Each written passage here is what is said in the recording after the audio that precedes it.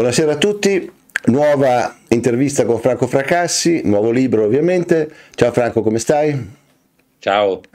Questo, eh, mi dicevi, è un libro sull'Ucraina ovviamente. Eh, mi dicevi un libro che stavi scrivendo già da dieci anni, ma che naturalmente hai, di cui hai accelerato la, la, la, la compilazione, la conclusione in queste ultime settimane, giusto? Sì, sì, sì, sì, appena dopo che è scoppiata la guerra ho deciso di scriverlo. Nel senso che avevi già tutto prima, perché sennò non è possibile. Se no io mi sparo, no. se tu riesci a fare un libro così in dieci giorni senza, le, senza avere niente sotto mano, io mi ammazzo proprio. No, diciamo che avevo tutto il, il materiale, c'avevo tutto, però materialmente l'ho scritto in sei giorni facendo peraltro altre cose anche. Vabbè, vantati pure, vantati pure, umiliami, umiliami ancora di più.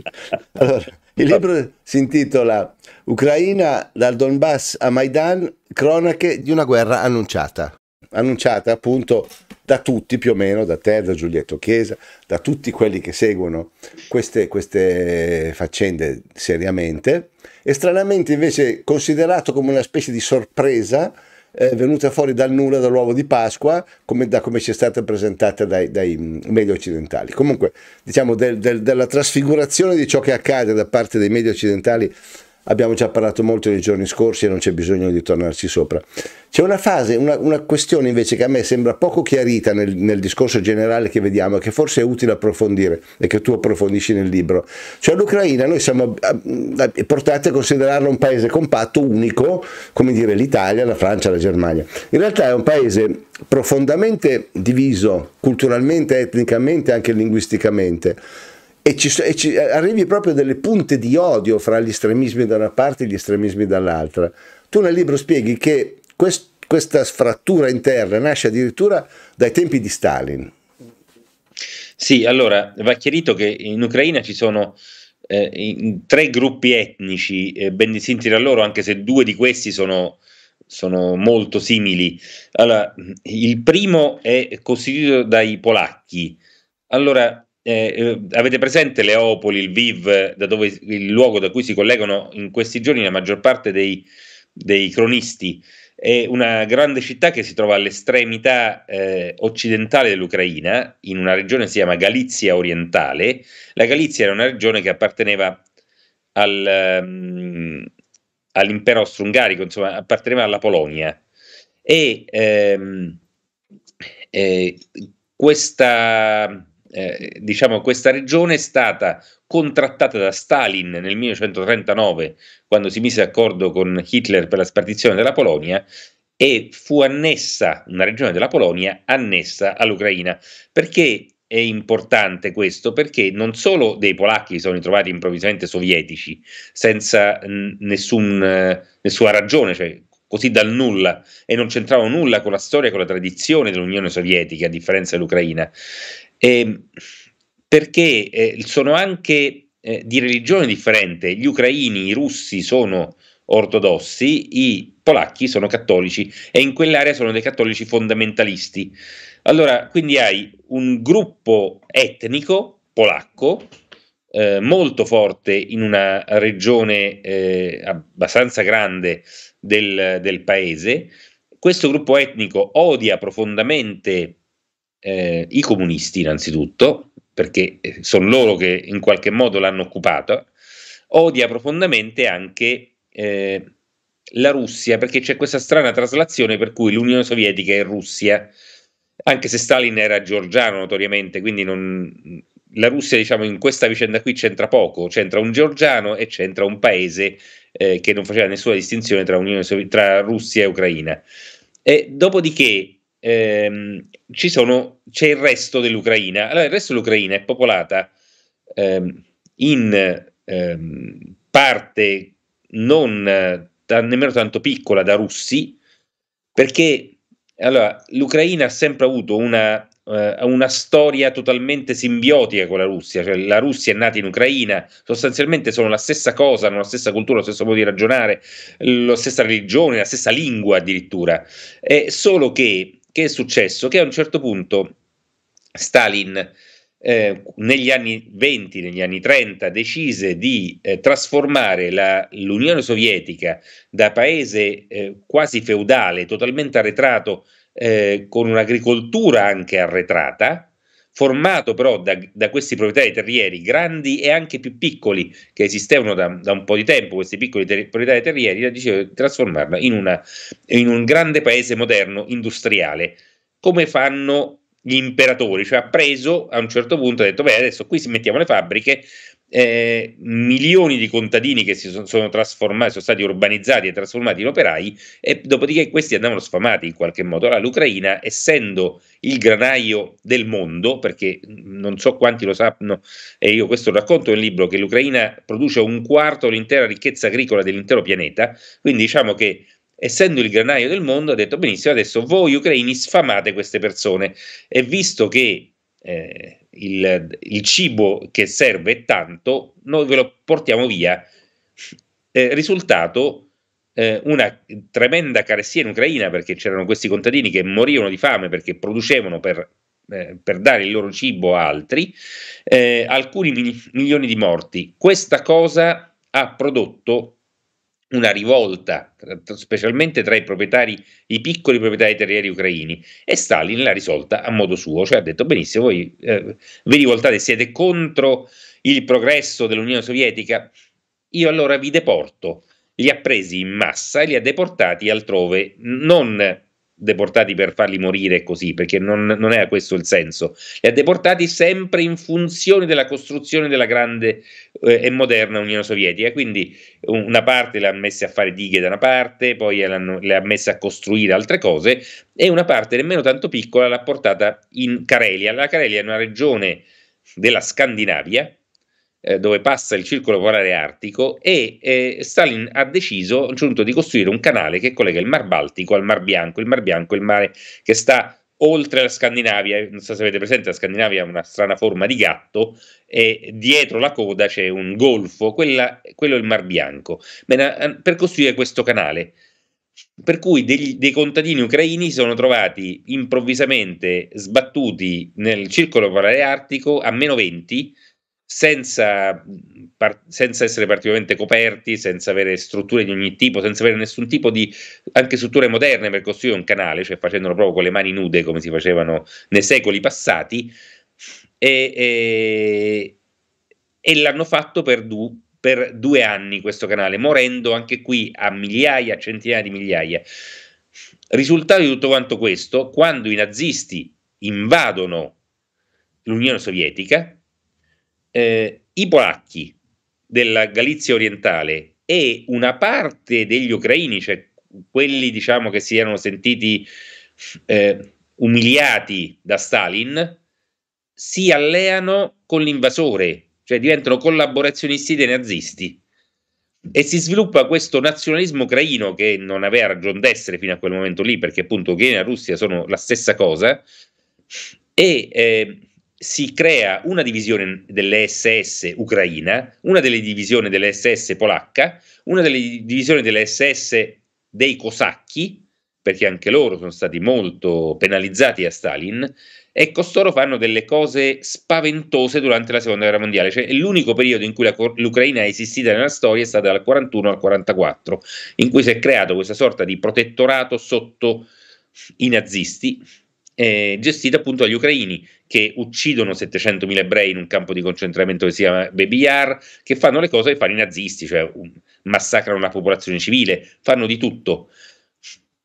Ovviamente quando i sovietici riconquistano l'Ucraina, Stalin ci mette il carico da 12 e quindi la fa ripagare di nuovo. Il risultato di tutto quanto questo è che Khrushchev, che è eh, presidente dell'Unione Sovietica, che succede a Stalin ucraino, perché l'Unione Sovietica ha avuto molti politici importanti ucraini, molti politici di potere dentro l'Unione Sovietica ucraini. Khrushchev è uno, Brezhnev è ucraino, Trotsky, che ha fatto la rivoluzione insieme a Lenin e Stalin, era ucraino.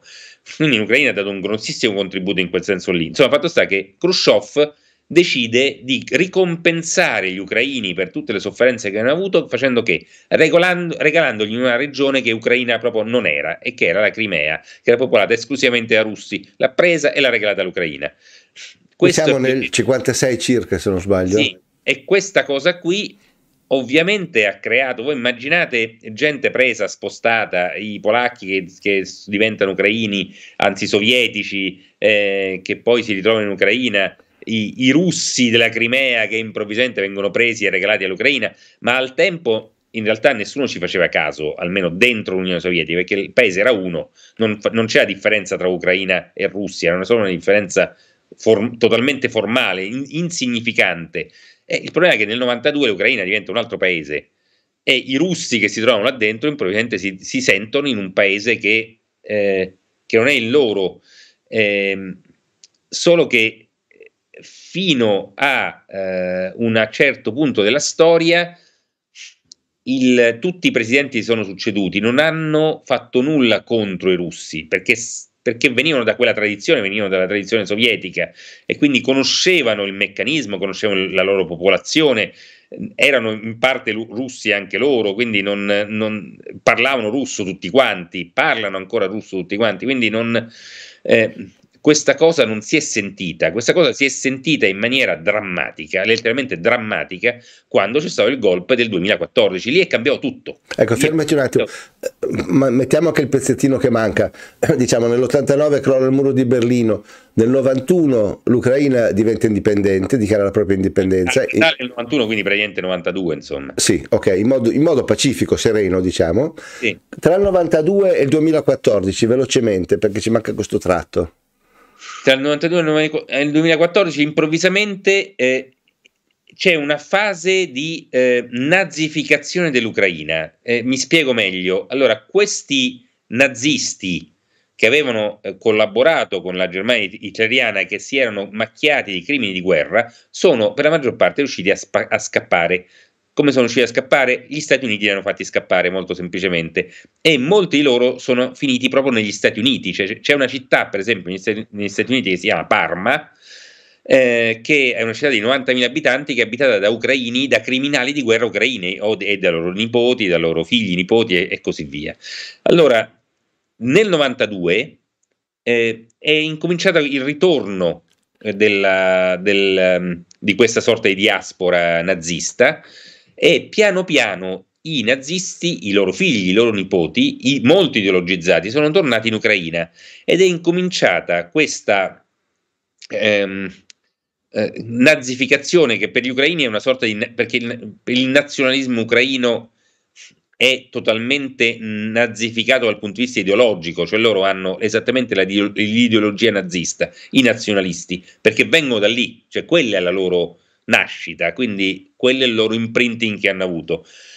E ehm, i, i hanno incominciato piano piano, sono tornati questi, i, quelli i galiziani, cioè quelli di, di Leopoli, di Lviv, che erano profondamente anticomunisti e così via, si sono, eh, eh, hanno incominciato a sviluppare anche loro questi, eh, ad appoggiare questi partiti di estrema destra e lentamente nel corso degli anni le piazze e le città dell'Ucraina hanno incominciato a popolarsi di statue che rappresentavano i leader nazionalisti degli anni 30 e 40, cioè esattamente i leader nazionalisti nazisti, cioè i collaborazionisti di Hitler. È come se improvvisamente in Italia incominciassero a spuntare le statue di Mussolini, no? Eh, ovunque. Immaginate una cosa del genere eh, nei libri di testo eh, è cambiata la storia, cioè non, la, l'Ucraina non è diventata più antinazista, antifascista, è diventata un'altra cosa perché erano i fascisti quelli che piano piano stavano,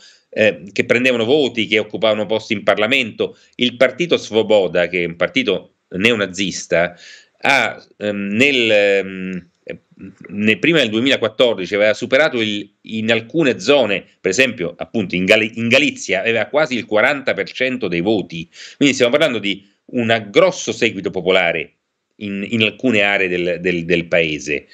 E questo passaggio è passato anche attraverso un presidente eh, nel 2004, quando ci fu la, la rivoluzione arancione, eh, il presidente che andò al potere eh, che era quello tutto quanto butterato, non so se vi ricordate. Che quello stato, che è stato avvelenato, giusto? Avvelenato dal KGB, insomma, dai, dai, dai sì. russi.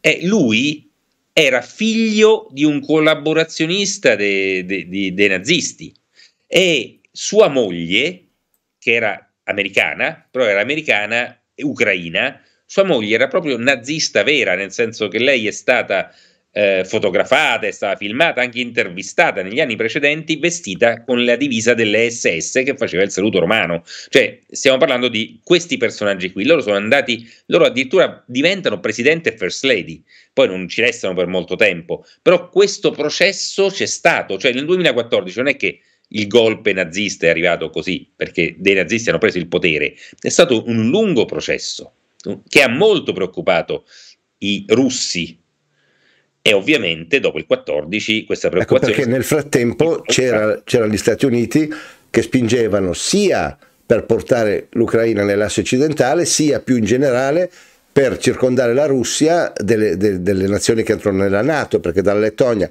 eh, Lituania, Estonia, eh, Ungheria, tra il 2004 e il, e il 2009 mi sembra, 7-8 paesi che prima facevano parte dell'Unione Sovietica diventano di colpo della Nato. Esattamente, esattamente.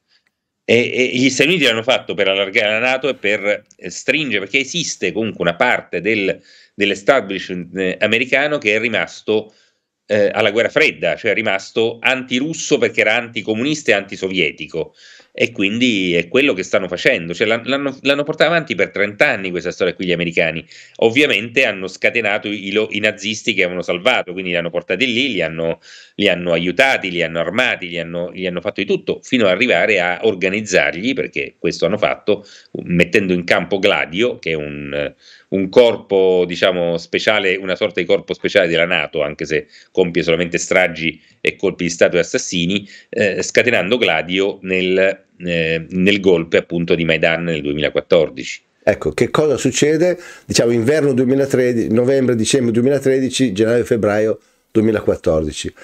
Che cosa succede? In, in, cinque, in cinque, righe ovviamente. Allora, succede che ehm, il ehm, governo ucraino che aveva chiesto di entrare nell'Unione Europea improvvisamente ci ripensa, ci ripensa per due motivi, ci ripensa perché eh, da una parte i russi offrono, il governo ucraino era in difficoltà economiche, i russi offrono dei prestiti convenienti, poi i russi, l'Ucraina è legata economicamente alla Russia, quindi gli, i russi gli hanno offerto gas, petrolio, tutta una serie di cose, più dei prestiti molto convenienti, molto più convenienti dell'Unione Europea, e poi l'altra cosa, loro si rendono conto che l'Unione Europea voleva dire, perché l'Unione Europea aveva posto una serie di condizioni, tra cui questi prestiti del Fondo Monetario Internazionale della Banca Mondiale, che, non, che assomigliavano molto a quello che fa, che fa, la Troica, non so come dire, cioè noi diamo i soldi, però poi decidiamo noi tutte quante le riforme che dovete fare.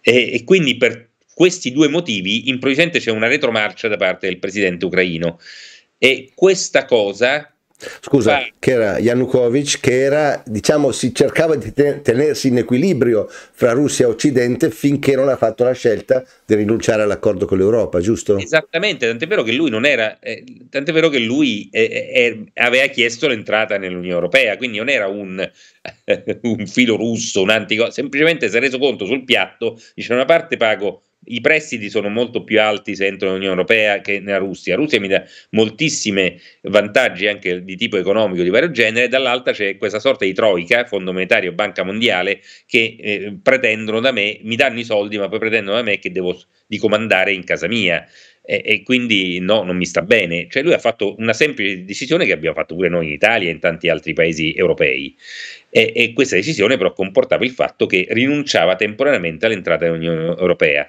Questa cosa ha scatenato la piazza, Maidan eh, che la piazza centrale di Kiev si è riempita di manifestanti, ma inizialmente si è riempita di manifestanti, eh, manifestanti colorati, cioè, c'erano i sindacati, c'erano le associazioni di omosessuali, c'erano i comunisti, c'era un sacco di gente, no? che però che tra le varie cose lo accusavano anche di corruzione, come diciamo, fanno anche in Italia che accusano i nostri politici di essere corrotti, insomma, in qualche modo. Quindi non c'è nulla di strano, nulla di nuovo. Il problema è che questa piazza, molto colorata, nel giro di qualche settimana è diventata nera, perché sono arrivate queste squadracce neonaziste, eh, principalmente di due gruppi, cioè il partito Svoboda, questo partito ehm, di stampo nazista che, che, sta in Parlamento, che ha tantissimi parlamentari, e poi Pravi Sector, che invece era un, un partito extraparlamentare, ehm, formato eh, da circa 15.000 membri che sono membri paramilitari, cioè proprio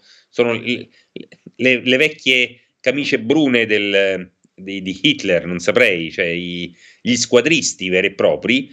Ehm, quindi Private Sector e Svoboda sono entrati nella piazza e l'hanno occupata, l'hanno occupata militarmente, cioè hanno cacciato fisicamente tutti quanti gli altri, li hanno, li hanno picchiati, li hanno minacciati, ehm, qualcuno l'hanno anche fatto fuori, alla fine la piazza è diventata una piazza nera e le cose sono cambiate completamente perché la piazza colorata e festante, seppur in protesta, è diventata una, una piazza molto pericolosa, molto violenta, sono incominciati gli scontri con le forze dell'ordine che hanno fatto alzare sempre più i decibel, anche perché nel frattempo sono arrivati a Kiev ehm, gli uomini di Gladio, ovvero eh, militari, nemmeno paramilitari, militari veri e propri venuti dalla Georgia, dalla Lituania, dalla Polonia e da altri paesi armati che avevano il compito di aizzare queste squadracce contro la polizia, creare lo scontro, creare i morti in ogni occasione e poi nel febbraio, alla fine di tutto quanto questo processo, si sono proprio messi i cecchini di Gladio, quindi non ucraini, ma gente che veniva appunto dalla Georgia,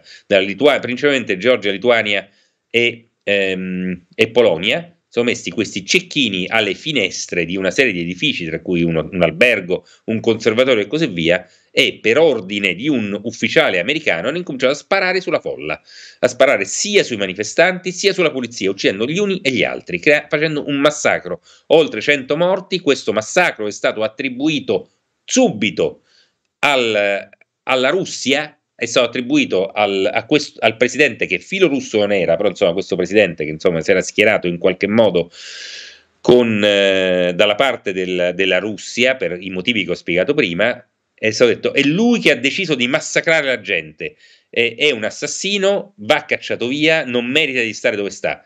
E poi ovviamente la Russia perché lui è il, la Russia è il mandante di questa, di questa strage, cosa, era esatto, l'esatto opposto, ma non ha nessuna importanza. Il giorno dopo il presidente è stato costretto, presidente democraticamente eletto, vorrei sottolineare questa cosa, e l'anno successivo ci sarebbero state le elezioni, quindi sarebbe stato tranquill, diciamo, eh, tranquillamente potuto eh, essere trombato alle elezioni, però fatto sta, questo presidente democraticamente eletto è stato costretto a scappare letteralmente il giorno successivo, se no l'avrebbero fatto fuori. E si è rifugiato in Russia, giusto? Sì, si è rifugiato in Russia perché ecco. insomma... A quel punto arriva Poroshenko, beh, prima c'è un, un, governo intermedio di un paio di mesi, mi sembra. Sì. Poi arriva Poroshenko, il quale dichiara apertamente guerra ai russi ucraini a quel punto. Cioè parte la controffensiva, vai, vai, vai procedi pure. Esattamente, cioè, la, la, la cosa che accade è che i russi si spaventano tantissimo perché assistono, loro, loro, capiscono quello che sta succedendo, non è che cioè, si rendono conto di quello che accade. Noi occidentali non abbiamo capito, loro ovviamente stando lì l'hanno capito perfettamente, quindi si spaventano anche perché hanno seguito tutto quanto il processo storico che vi ho raccontato che ha portato a quel punto. In più, il nuovo governo, eh, nel nuovo governo entrano ben quattro, quattro eh, di questi leader nazisti, tra cui il leader di Private Sector, il leader di Svoboda e così via, di, entrano come ministri del nuovo governo. Ci sono ben quattro persone che sono dichiaratamente, non sono nazisti perché sono di destra, sono proprio nazisti, cioè nazisti perché hanno la svastica, perché, perché, pensano che Hitler sia stato il più grande uomo della storia, perché le, nelle, nei loro pensieri ideologici sono identici a quello che c'è scritto nel Mein Kampf, non saprei come altro spiegarli, sono nazisti. E ben quattro di loro diventano ministri, tra cui il ministro dell'interno. In più il presidente del Parlamento ucraino diventa un nazista. Quindi loro, intanto questa cosa spaventa ulteriormente e spaventa ulteriormente il fatto che incominciano a fare delle leggi in cui il russo non, di, non è più la lingua eh, la lingua ufficiale dell'Ucraina, i, russ, i russi... Cioè non è più seconda lingua, perché prima sì, era... Sì, sì, era... perché era una lingua, immaginate, ci sono milioni e milioni di gente russa che l'ucraino non sa manco come, come si parla e quindi eh, era normale, parlavano tutti russo, parlavano tutti russo, quindi anche gli ucraini parlavano russo. Eh, e quindi loro con questa decisione qui però... Eh, diciamo, mettono già in difficoltà la, la, popolazione e fanno capire in che direzione si va. Dopodiché i russi non possono lavorare per lo Stato perché sono dei traditori e il Partito Comunista viene dichiarato illegale. Quindi immaginate un partito comunista che stava in Parlamento, che aveva un grande seguito, improvvisamente diventa illegale. E quindi i comunisti dei criminali sostanzialmente. E, e, mm, quindi quando Putin dice denazificare l'Ucraina non è che parli a caso. No. Cioè parla proprio tecnicamente di de-nazificare l'Ucraina. Esattamente, esattamente. Mm. Si riferisce a questo. E, eh, la, la, e, e ovviamente i russi si spaventano, quindi ci sono quelli della Crimea che dicono no, noi, visto che noi non, con l'Ucraina non abbiamo nulla nella nostra storia in comune con l'Ucraina, siamo stati proprio presi di forza da Khrushchev eh, 50 anni fa e messi nell'Ucraina, ma insomma l'abbiamo accettato all'epoca perché non valeva nulla e adesso ce ne vogliamo proprio andare perché non ci vogliamo stare in questo paese, fanno un referendum, essendo tutti russi il 97% vota per andarsene via e se ne vanno via, vengono subito annessi alla Russia. Poi sono gli altri che i russi diciamo tendenzialmente abitano nella parte meridionale e orientale del paese, diciamo lì sono maggioranza proprio nella popolazione, e hanno detto pure noi ce ne vogliamo andare via. Questa cosa non è stata presa molto bene, ehm, c'è stata un'escalation, sono incominciate a esserci eh, pestaggi, uccisioni per strada, eh, sparizioni, come accadeva nel, saprei, in Argentina o in Cile negli anni 70, e, e, e quindi eh, a un certo punto eh, alcuni, ehm, i russi di alcune zone dell'Ucraina, quelle appunto più, ehm, più russificate, hanno detto benissimo, noi non vogliamo stare in questo paese, ci stacchiamo da questo paese e lì è iniziata la guerra vera e propria. Tra l'altro, scusa, gli accordi di Minsk prevedevano che eh, Donetsk e Lugansk, cioè le due più importanti province del Donbass, avessero uno statuto indipendente, cioè che potessero in qualche modo staccarsi, ma gli accordi di Minsk ovviamente non vengono rispettati nel momento in cui gli ucraini di Kiev cominciano a bombardare quelli del Donbass. Esattamente, ma gli fanno una guerra proprio una guerra pesante, perché è una guerra fatta non solo dall'esercito ucraino, e sono otto anni che sono in guerra, 14.000 morti, ma ehm, vengono fatti da eh, arrivano nazisti, anche qui non eh, gente nazisti, o in qualche, caso, in qualche caso anche fascisti, però tendenzialmente nazisti da tutta Europa e incominciano a essere inquadrati dentro dei battaglioni. Il più famoso di questo si chiama Azov, ma non è l'unico. Ce ne sono almeno 6-7 di questi battaglioni di nazisti che fanno delle cose turpi. Io mi è capitato di intervistare un italiano, si chiama Fontana, è un milanese, io lo racconto nel libro, questo italiano è andato lì, ha partecipato alla strage Odessa, ha fatto un sacco di altre cose, di schifezze assurde. Lui un, un amico, era un amico di Delle Chiaie finché Delle Chiaie era in vita, quindi dà l'idea insomma di che personaggio stiamo parlando. Questo italiano fa queste cose, ma quando torna in Italia fa una vita normale. Allora, in Italia è reato. Chi è andato a combattere in Siria da qualunque parte abbia combattuto, ha commesso un reato. Quando, quando queste persone sono tornate, sono state messe sotto processo. Invece chi è andato a combattere in Ucraina no, perché questo Fontana è protetto dai nostri servizi segreti, cioè i nostri servizi segreti mi hanno detto senti vai lì, non ti preoccupare, non ti facciamo nulla. Quindi c'è un coinvolgimento dell'Occidente, dei nostri servizi in, quel, in, queste stragi, in qualche modo. Le abbiamo tollerate e abbiamo mandato i nostri uomini lì, perché sono andati in migliaia a combattere, ma non è finita lì. Insieme all'esercito ucraino, udite udite, ha combattuto un battaglione dell'ISIS allora, voi dite che cosa c'entra l'ISIS? Infatti stavo per chiedertelo perché anch'io quando ho visto il capitolo sull'ISIS ho pensato di aver sbagliato libro per un attimo. Dico.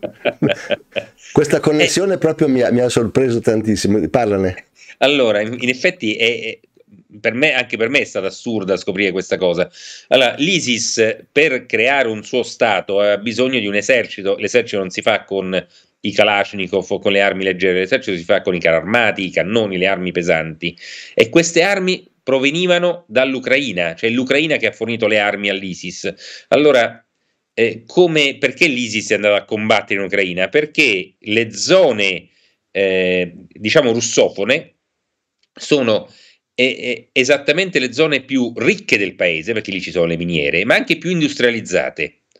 È come se fosse il nostro nord, no? Immaginate la Lombardia, il Veneto, il Piemonte e così via. E, ehm, il, in particolare la città di Dnipropetrovsk, eh, che si trova nel nord-est eh, del paese, è la città dove c'è il, durante l'Unione Sovietica, lì era la città dove c'era il complesso militare industriale sovietico, lì si facevano i missili eh, che andavano anche nello spazio, insomma si costruivano gli aerei, eh, gli aerei più moderni e così via, ed è continuato ad essere eh, lì tutta concentrata la produzione di armi pesanti, di armi tecnologiche ucraine. Quindi c'era bisogno di liberare Dnipropetrovsk e gli ucraini gli hanno detto scusate però dobbiamo liberare questa città per voi, venite a combattere. E quindi un battaglione dell'ISIS si è presentato lì, ha combattuto a fianco dell'esercito. Eh, per avere in cambio delle armi loro?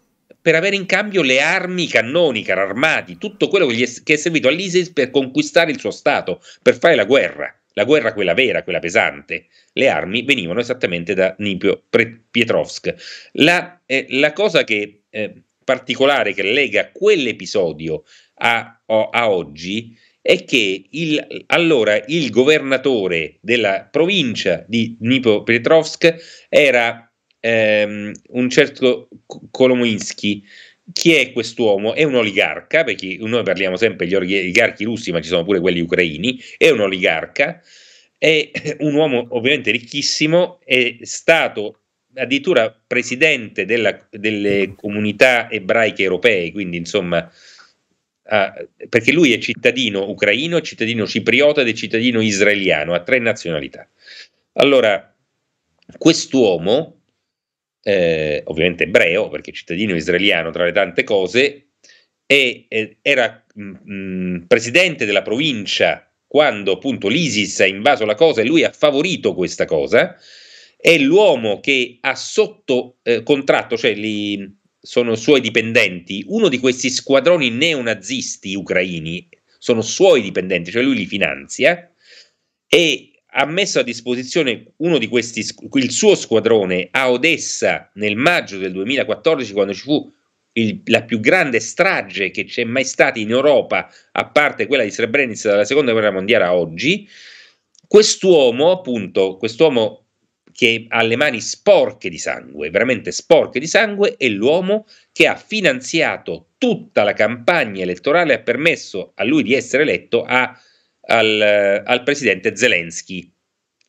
Quindi questo forse potrebbe chiarire un pochettino, no? perché si dice come fa un ebreo ad avere... Intanto Zelensky, le guardie del corpo di Zelensky sono quelli di Pravi Sector, quindi sono, ne, sono nazisti, no? Eh, presidente ebreo con le guardie del corpo naziste ma le cose sono un po' più complesse di quello che sembra. Cioè, uno pensa i nazisti, ebrei non possono andare insieme. Evidentemente cioè, ci sono dei luoghi in cui queste cose possono funzionare. E Kolomoisky e la sua, ehm, la sua storia lo dimostrano. Quindi non è un ebreo qualsiasi, al di là del fatto che è un ebreo israeliano, ma è eh, un ebreo che, che, ha un ruolo importante nella, nella comunità ebraica ucraina e anche in quella europea addirittura. Altro argomento che mi ha incuriosito molto, tre parole. Biden, Kerry, Burisma. allora, Burisma è la più grande società di gas ucraina, è mh, una società peraltro eh, con sede a Cipro, quindi mm, mm, quando uno dice una società con sede a Cipro è come dire ha sede nei Caraibi, in qualche paradiso fiscale, sono quelle società opache, anche perché questa società opaca è, è, ehm, è eh, diciamo, è, è, di proprietà in qualche modo di questo Kolomoinsky, cioè di questo oligarca eh, di cui ho appena parlato. Ehm, è una società che ha puntato t- tutto quanto sulla produzione di gas scisto di cui l'U- l'Ucraina è leader mondiale. In Ucraina ci sono le più grandi riserve di gas del pianeta, che però non vengono utilizzate. Perché? Perché si trovano sotto le case. E allora, eh, quando ci fu il golpe del 2014, come vi ho detto, gli Stati Uniti hanno dato una mano eh, in tanti modi, hanno anche orga- messo su questo, questo colpo di Stato. Eh, questo golpe è potuto avvenire anche perché un uomo politico molto importante americano ha garantito il, la protezione degli Stati Uniti d'America e questo uomo politico era l'allora vicepresidente Joe Biden. Eh, Biden si ehm, presentò addirittura una sorta di vertice facendo un volo diretto da Washington fino a Odessa. Questo vertice si tenne il primo maggio del eh, 2014 e a questo vertice parteciparono eh, Biden, che è strano, vice, stiamo parlando del, non di un politico qualsiasi, il vicepresidente degli Stati Uniti, quindi che doveva passare per Kiev a salutare il presidente, andò dritto dritto a Odessa, che è già una cosa stranissima questa, e partecipa a un vertice lui, il ministro dell'interno ucraino nazista, eh, il prefetto di Odessa e poi il, ehm, diciamo, il capo della criminalità organizzata locale, quindi il boss mafioso di Odessa. Ecco questi quattro personaggi si incontrano. Quello che si, si, sono detti non si sa, però fatto sta che il giorno successivo a Odessa avviene una strage. Eh, una strage compiuta dalla polizia, dalla polizia proprio in divisa, eh, non, è, non, non poliziotti infiltrati, proprio la polizia in divisa, dalle squadracce neonaziste di Pravi Sector e dagli ultra della squadra locale di calcio. E mh, poco dopo, poco dopo eh, la Burisma assume due nuovi consiglieri di amministrazione. Uno è il figlio di Joe Biden, che notoriamente non ha mai avuto nulla a che fare col gas e con l'energia, quindi è come dire una sorta di... Eh, in, in, molti ambiti si potrebbe pensare a una, for- a una, forma di corruzione, nel senso che una cosa del genere non sarebbe possibile, per esempio in Italia, eh, un, un, legame del genere sarebbe, adesso non conosco il termine tecnico giuridico, ma insomma è una forma di corruzione non con i soldi, ma dando un posto di potere nella più importante eh, società del gas del paese, una delle più importanti del mondo. E l'altro è un personaggio che non solo è stato l'assistente di Kerry, quindi un braccio destro di Kerry che all'epoca era ministro degli esteri, eh, ma eh, è stato anche eh, l'amico eh, d'università e l'amico quasi fraterno del figlio di Kerry. Quindi queste due persone entrano nel consiglio di amministrazione del, di questa importantissima e ricchissima società nel paese che, ripeto, ha le più grandi risorse di gas del pianeta, eh, così, senza motivo, perché la società era ucraina, subito dopo il colpo di Stato e la strage di Odessa. Ma sono coincidenze, sono coincidenze. Non bisogna fare sempre i complottisti, Franco. Eh, eh, tra l'altro mi ricordo appunto quell'episodio nel quale poi c'era un procuratore di Kiev che stava indagando sui, sulla connessione di, eh, su, su, su, Hunter Biden praticamente, è intervenuto direttamente il, pres- il vicepresidente degli Stati Uniti facendo rimuovere quel procuratore. Sì. E lui stesso Biden se n'è vantato, da, se no non lo sapremmo, davanti ai microfoni, mi sembra alla, alla alleanza, non mi ricordo quale, Council for Atlantic, uno di questi consigli di think tank eh, imperialisti dei quali lui fa parte. Sì, esattamente, eh. Biden è noto per le sue gaffe, quindi... Sì, eh... questa, questa, questa, si vantava proprio, sono arrivato lì e in tre minuti, pam, hanno tolto il procuratore, visto come sono potente, bravo scemo a raccontarlo a tutti. Senti, un'altra cosa di cui parli tu che mi, mi, Già avevi accennato ai biolaboratori quando parlammo eh, del Covid, adesso c'è l'aspetto eh, ultimo. Che cosa c'è di vero in queste scoperte barra distruzione dei biolaboratori americani negli ultimi giorni da parte dei russi?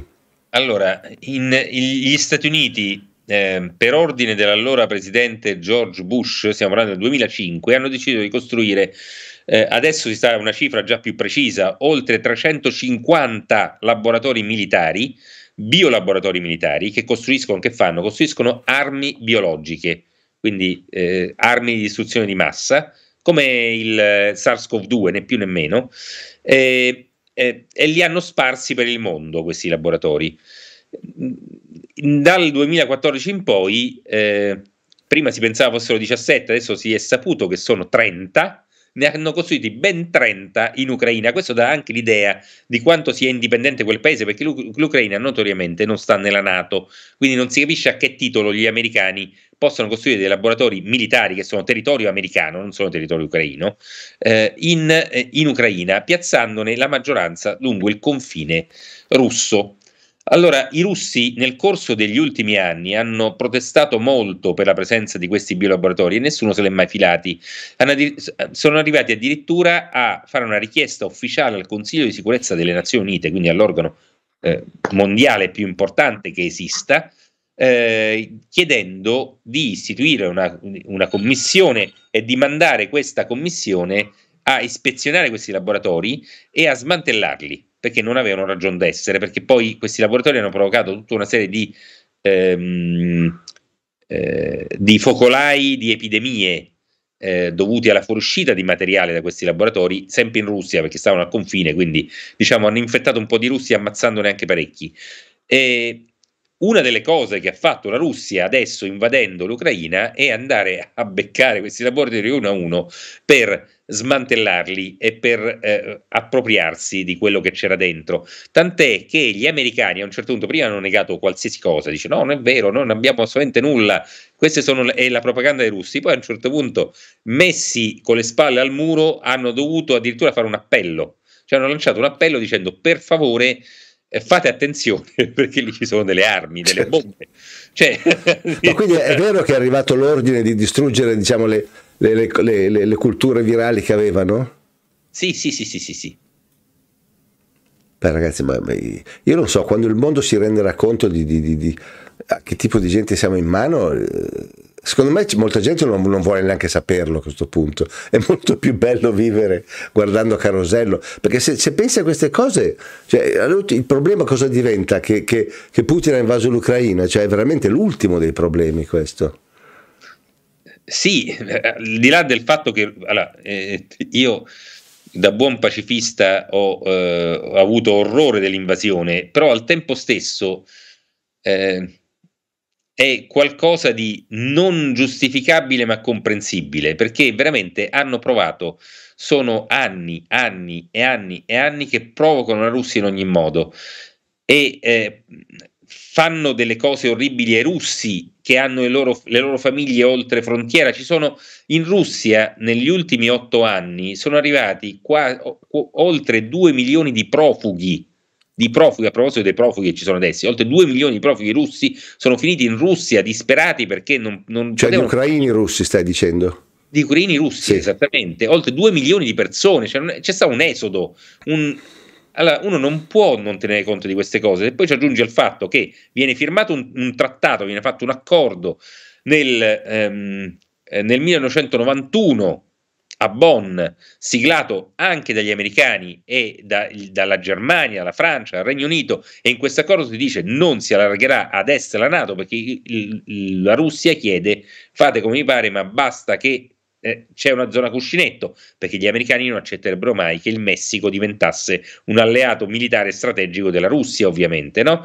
Quindi eh, e invece gli americani, come al solito, fanno quello che gli pare perché le regole valgono per tutti i paesi del mondo tranne che per gli Stati Uniti d'America. E quindi hanno incominciato a allargare la Nato. Eh, e l'hanno detto, non era nemmeno una minaccia, ce l'hanno detto in tutti i modi, stiamo facendo eh, tutte quante le pratiche per far entrare l'Ucraina nella Nato. E a quel punto è come agitare una, un drappo rosso eh, di fronte al toro. Questo è quello che è successo. Ultimissima domanda il ruolo di Soros in tutto questo?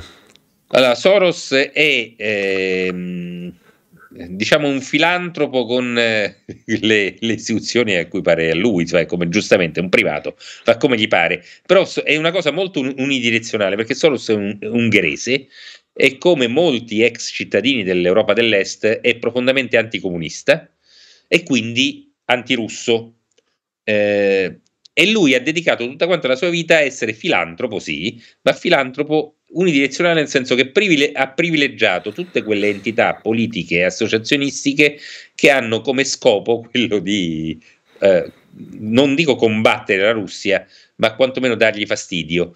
E lui ha fatto queste cose anche in Ucraina. E quindi la, la, rivoluzione arancione, per esempio, del 2004 ha molto dell'impronta di Soros, nel senso lui elargì a piene si svuotò le tasche per finanziare quella rivoluzione arancione e, e, e l'ha fatto comunque in tutti quanti questi 30 anni.